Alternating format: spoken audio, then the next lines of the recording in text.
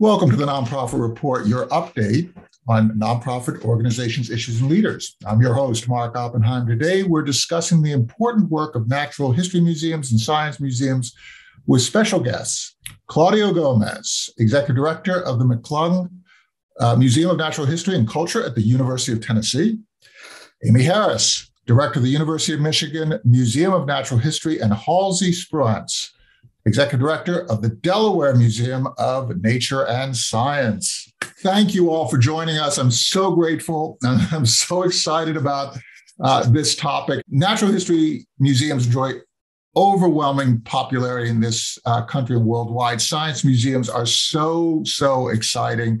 And In the US alone, there are hundreds of such museums, and, and attendance is great. I mean, people would love to have this type of attendance at their institutions. And it's people of all ages. Now, keeping specimen collections is important, it's expensive. And then we have uh, the curators, the staffs, the buildings. We're talking about a, a very sophisticated operation, and natural history and science museums are so intrinsic to education in this country. And it also informs things like our policy, right? That education informs what we actually decide and do. And and so Claudia, let's start with you. Why should Tennesseans care about your work? Why is your institution so important within your state, within your region, and with our within our country? Well, that's a good question, and, and thank you for having me here today. Um, the first reason I would say is that the Tennessee River itself is a hotspot of biodiversity, uh, not just in the in the U.S. but in the world. So, for us at the McClung, uh, getting to have the opportunity to explain or present that biodiversity to our visitors and communities around us, I think it's it's very important. So that's one of the uh, key projects that we're working on in the not too distant future. So uh, Tennesseans should worry about whatever is happening around them because whatever happens in Tennessee probably is also happening in other places of the world. In natural history museums are trying to uh, present those issues and those challenges all around the world. So, so part of your point is that we're trying to create a sustainable world, a world that we can all enjoy and our children can enjoy, our grandchildren can enjoy for years. And your research, your research is not only unfolding the history and the, and the science embedded in the environs of Tennessee, but it also allows us to make really, really smart decisions going into the future. Amy, talk a little bit about your work at the University of Michigan. Yeah, thank you so much for having me here. Um, the Univers- University of Michigan has one of the largest natural history collections in the world with about 20 million specimens. But we have a, an unusual structure where we're, we have research museums that are not open to pub- the public, but the museum I direct is open to the public. So we're the portal by which the public can access some of the research and things that go on in the collections. One of the ways we do that is by offering a science communication training program. So at our museum, the public has an opportunity to talk directly with scientists about their research, to see the collections, and to learn about the importance of them. So it's a little bit different structure than, um, than some other museums, but our focus is on communicating research and giving the public access to the research. So that's really interesting. So you you become the intermediary that that uh, makes the and ex- excuse me for saying this the sciency stuff accessible to somebody like me. Absolutely, we personalize science by giving people an opportunity to meet scientists, to ask them questions, to look at things from their work, to touch things, to um, ask the questions that they have. And what is the mix of, of ages that are exposed to that knowledge within your institution? Do you have a audience that skews younger or uh, older? What what is that? Well, I've had this discussion with consultants before who wanted me to choose one audience to focus on, and I've resisted that at every step. We really do serve everyone. College students are important because we're a university, but we have families with small children who come to, the, to our scientist spotlight events, as well as adults who kind of wish the kids would stop asking questions so they can talk to the scientists. and Halsey, you're you're also you represent a, a, university museum. You just had a name change to the uh, to the Delaware Museum of, of Nature and Science. Talk a little bit about that and also about your the, the logic behind your $11 million uh, expansion as well. Well, uh, uh, unlike, thank you for having me on, Mark. Much appreciated. Great to be here. Uh, unlike Claudio and, and Amy, uh, the Museum of Nat- Nature and Science here in Delaware is not affiliated with the university. So we're somewhat different. And uh, we are just uh, finishing up uh, an $11 million capital campaign to uh, reinvent ourselves, put ourselves in the 21st century with new, new practices on how visitors are interacting, which is great. Um, I'd like to get to this the collections part. The, we, we, the collections obviously are a, a, a record of biodiversity throughout history and time and across the globe. Uh, an important part of our focus here at the Delaware Museum of Nature and Science is that uh, those collections and the work that's being done there, uh, we're not encyclopedic in our collections. We don't go for everything. We're, we're we really specialize in in mollusks and birds. That's really where we go for. But that information informs what goes on to our general public. So uh, yes, we we are uh, specializing in, in mollusks and, and birds, but those curators, those um, collections managers are the ones that help us validate uh, what our messages are going on downstairs. So it's not just a bunch of uh, you know Bachelor of Arts uh, graduates with uh, education degrees. We actually have some hard science that informs what we're doing downstairs. That's an important part. You know, we did the search for the Nature Conservancy's uh, uh, uh, executive director at Pennsylvania and Delaware. And mm-hmm. the, the science based conservation work really does take uh, knowledge that has been developed over the millennia and uses that to inform their current research. So the, the idea of having a, a, a, um, a catalog of knowledge accessible through the university is, is so important. And Claudio, you were you were saying something before the show started about your collection that also connects to uh, Halsey's strength in mollusks, in mollusks in particular. Could you talk a little bit about that and and and how this is so important to have in different parts of the country these different collections that can be used by scientists as a reference? Yeah, well, as uh, Halsey was saying, um, um, biological collections in museums are systematic, and they're in, in, in that sense, museums are true libraries of biodiversity. So it's just like libraries. You, you would like to have as many as, as you can and uh, distribute it uh, for access for different types of research. Of course, collecting what is closer to them. In our case, like uh, my, in the picture in my background, uh, fresh water mussels from the Tennessee River and other uh, tributaries and rivers here in, in East Tennessee. So uh, understanding that, for example, the big hydraulic works in the from the 30s, you know, how that changed the environment, how that changed the development or sometimes the survival of certain species. That's how you can understand that over the years in these libraries. And um, taxonomers, uh, by either biologists or uh, other kind of uh, um, professionals, uh, will um, give you that information. And probably now we can make better decisions than in the 30s, hopefully, and uh, in the sense of keeping our biodiversity, because we depend, as a human species, we depend of a biodiversity, uh, or biodiverse uh, environment. Uh, the, the, the more specialized you get, the more uh, open you are to uh, dramatic changes. So I think museums can tell those stories. They actually tell these stories, and um, and we should keep focusing on on on issues that are very, um, I would say, sometimes challenged but uh, we have to rely also on, and especially here in the US, how museums are trusted by the general public to tell these stories. Um, science needs to be out, and museums, I think, are the excellent vehicles to tell those stories. So important. You know, your your point about the effect of, of dams and the Tennessee Valley Authority um, in order to create electrification uh, throughout that region um, on the wildlife and the ecosystems. We were just talking with the Deschutes uh, Land Trust, and, and there it's it's about the electric dams and the um, and the salmon, the salmon fisheries. Um, uh, Amy, how do you explain these types of downstream impacts on our food chain, or on our environment, on on um, on our plant life?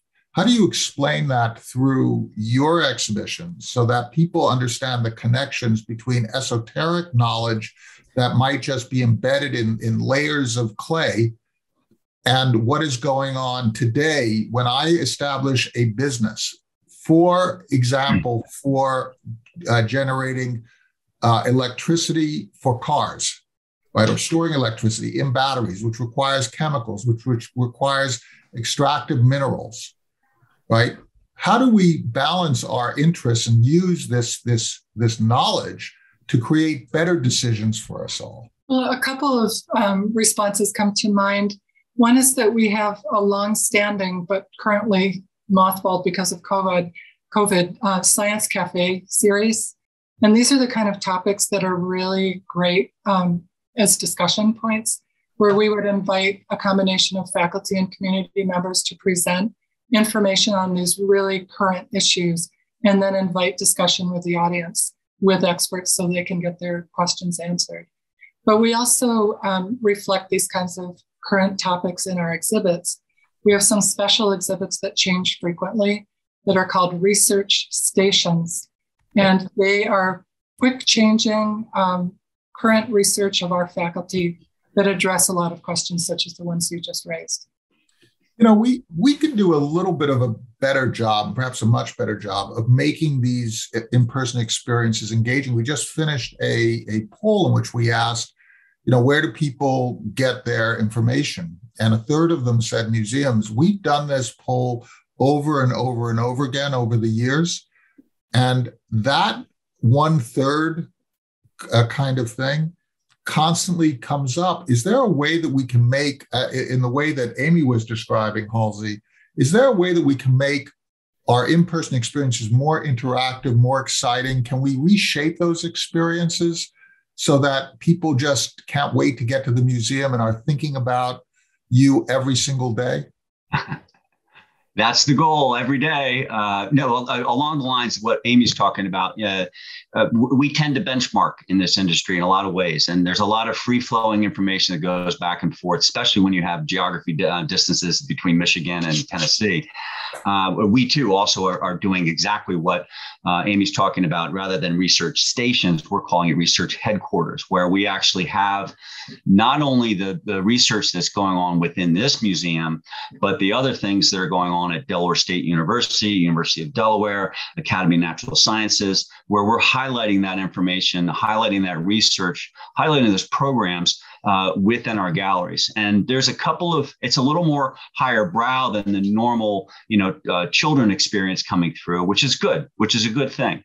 And what we're looking at is to uh, one, show off the great information that, that's being uh, that's being accumulated, uh, but also to incite some careers uh, in underserved audiences and particularly in, in, in young women uh, which is an, uh, an underrepresented um, workforce in the, in the in the scientific community.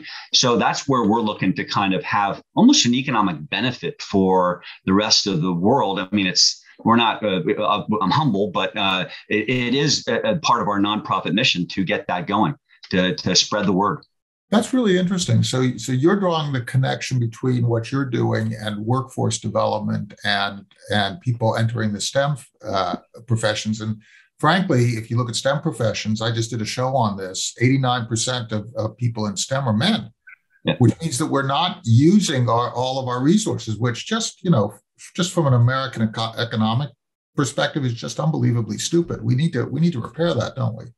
Yeah, without question we, we take it one step further too in addition and uh, and that is um, we also take those research stories and we actually put them into interactive um, activities within the, uh, the museum the new museum uh, where we're tying that together. So, for instance, you may have a, uh, a, researcher at the University of Delaware. He'll have a research story going on in the research headquarters, but also putting uh, an activity in the Discovery Gallery where he's talking about his um, uh, coastal erosion work that he's doing uh, along the Delaware Bay. How how often do you think about fun? The whole idea of edutainment, right, which was a dirty word, but the but the actual, you know, which which in some museum environments is is viewed as kind of a pejorative. The fun word, right? Fun experiences. Uh, Amy, Claudia, you want to jump in on this? I don't think that you should uh, um, exclude the word fun of your dictionary or when you're setting goals for yourself and your team. I mean, it's uh, and um, I think that you can you can measure the success of your work by the laughter that you hear in the galleries, and I think that's that's I think that's a good benchmark. Uh, science is fun and, and, and, and, if you're not doing it in the funny way, I think you should be uh, worried. Um, that doesn't mean, and, that's one of the things that sometimes you hear scientists saying, oh, we need to dumb down things. Right. And I'm always saying you need to smart up. Right. It's, it's the other way around. It's not that you are here and the other, you know, the visitors are, you know, way, way down there. No, no, no. Uh, people visitors are usually smarter in their own ways and they they will you know you know find out very quickly if you're not being you know you know precise or you're not being accurate or you're not using some of the resources that they're expecting to see uh, in your gallery. So i think fun should be part of the work.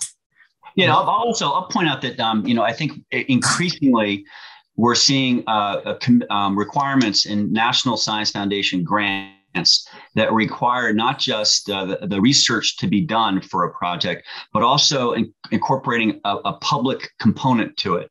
So, a lot of the researchers that we have around here that like to be in their silos doing their research are having to actually come down and do something with it. Uh, and initially, that was in the form of two, you know, poster sessions and stuff. And that's changing. I think we're seeing a lot of researchers that really understand the value of uh, the um, public dissemination of the work that they're doing. I love I love the laughter metric, right, Amy? I mean, isn't that I, you, you were just laughing or, or smiling along and nodding? Um, it's the laughter metric, isn't it? I, that, I that, that noisiness in the galleries that you're that you're looking for. Yeah, I love it. I love that idea of a laughter metric. For for me, it had been, um, you know, hearing people say, "Wow," you know, oh, I didn't know that. I hear that every day when I walk through the galleries. But I was also chuckling because, um, you know, how can you not love working in a place where people come to see the dinosaurs yeah. and the, the awestruck children who know more than the staff do about the dinosaurs? That's how I kind of think of that as how we bring people in they come to see the dinosaurs, but once they're here, then they stumble on all the other amazing things that we have and the fun things that we have. That we've done put a lot of effort into making the experience at our museum fun. One of the things that I've noticed in the study of paleontology, so uh, dinosaurs, is the the shift from when I was uh, really young. When I was really young, it was the fascination with the the big boned animals. Um, but as we've seen uh, studies on what happened uh, as climate change and the demise of the dinosaurs, uh, we're going to studies of much smaller animals and seeing um, how uh, which animals survived and how, and what the strategies were that allowed that survival to take place. Because we're seeing a very rapid uh, climate shift. We're seeing die-offs of species at, at an amazing rate and we're using that sort of past reference as a reference for what we're doing in the future. Could you talk a little bit about how you see uh, the uh, use of, of science that you expose to uh, inform the behaviors in, in your various communities and how that uh, connects to uh, things that are happening, for example, in public schools and, and policy debates in government. Halsey, do you have any any um, uh, examples that you'd like to highlight in how the knowledge that you have in your institution are affecting others? Uh, well, yeah, I think um, uh, part of this this migration from you know 20th century learning to 21st uh, is certainly we still rely on that lecture type thing, and, and the kids, you know, knowing more of the dinosaur names than than uh, than most lay people know. Um, but where we're taking it one step further is uh, the interdisciplinary science, where you can actually, for instance, look at uh, fossil records to to to start to figure out, you know, were there feathers on this animal, were there uh, were there uh, colors within those feathers, and that becomes really interesting in terms of a dialogue, and that's that's science based. Uh, when it comes down to the, uh, uh, doing policy or affecting policy, especially as it goes to climate change, we are actually, you know, raising those topics within the museum, which wasn't there before. Uh, there wasn't a, a, basically a place for that discussion, and uh, certainly we are science based, and uh, uh, and but but having those discussions is an important part uh, where we see ourselves as a forum um, for having those discussions. So you're internally challenging the uh, traditional categorization of of, of different segments, paleontology or uh, maybe the physical sciences, mineral sciences, and so on and so forth. And you're looking at cross cutting topics like global warming and taking di- um, elements from each of these disciplines to create uh, a separate category that allows for uh, exploration across disciplines, engaging different scientists and different collections. Without question. That is, you, you nailed it. And, and even science and art, sorry, so go ahead, go ahead, Claudia. No, even science and art, because when you see those drawings of uh, yeah. you know extinct animals, it's, it's it's part science and it's also part imagination. And those that are bringing those animals to life and uh, you know bi-dimensional representation are artists, even though they may be trained in science. What you're seeing, you know, sometimes in the uh, first page of Nature, whatever, are these are drawings that are quite pieces of art. And people collecting natural history illustrations since you know centuries since the first illustrators you know uh, took um, that important role in presenting uh, science findings. That's really interesting. You know if you look at the uh, audubon's drawings of birds right?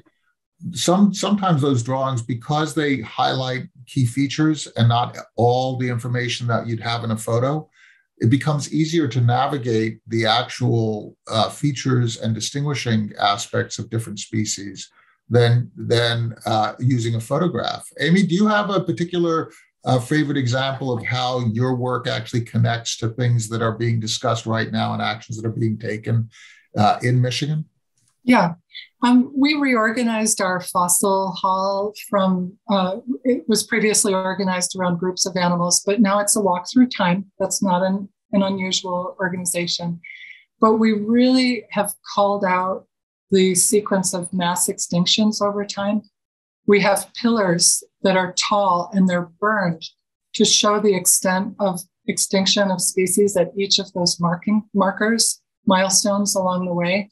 And so by the time you get to today and you look at the sixth extinction pillar, you really have a sense that, wow, you know, 95% of species could go extinct. Life will rebound, but we might not be here.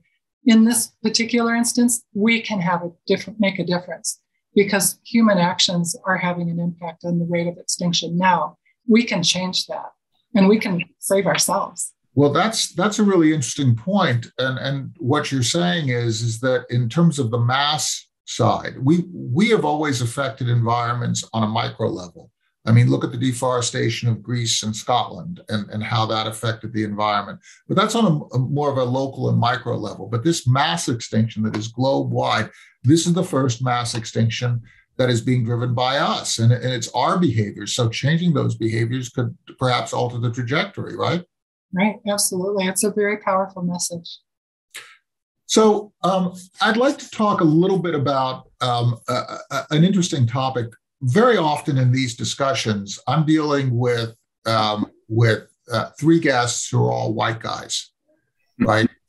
Um, in this in this case, we've got a, a, a, group of people from different parts of the country, different ethnicities, genders, um, and and so on. And I'd like to talk a little bit about how representation affects or doesn't affect this. We've, we, have we have so often thought that science is kind of neutral. And then we see a, a film like uh, Hidden Figures, um, where it becomes so very clear that without those women who uh, were groundbreaking breaking mathematicians, we would have ended up with uh, disasters in space.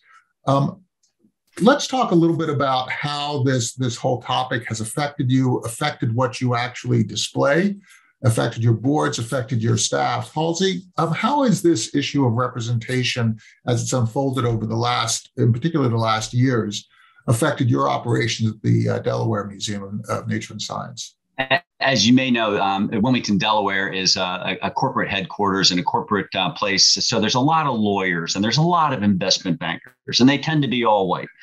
And they're great people to have on the board because um, they give well, which is nice.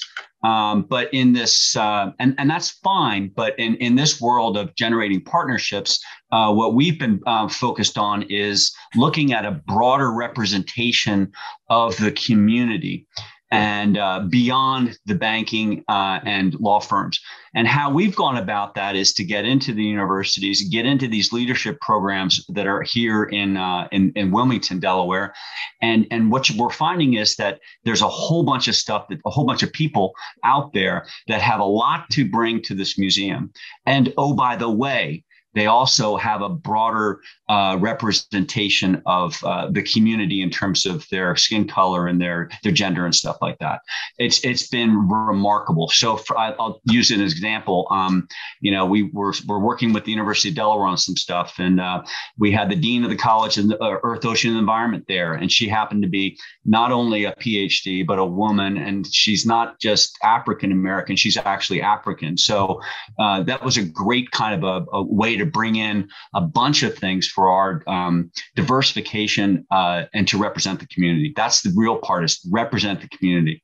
That's really interesting. And you're bringing in the international perspective as well. Also, very important. Somebody yeah. who has not grown up in this country and might see the entire uh, natural history sphere and the science sphere uh, in a distinctive way. You're also bringing up another point, which is that uh, just like science, there's there's often this view that wealth is neutral, but it isn't. If wealth already skews to particular ethnic groups, then wealth is not neutral. So if you build boards based on the ability to give, then you're you're automatically skewing boards. So you're yeah. you're basically taking a new view from top to bottom, aren't you, Halsey, in terms of governance, in terms of board composition, in terms of your staff composition, without throwing out what has been done before you're rethinking what you're going to be doing in the future.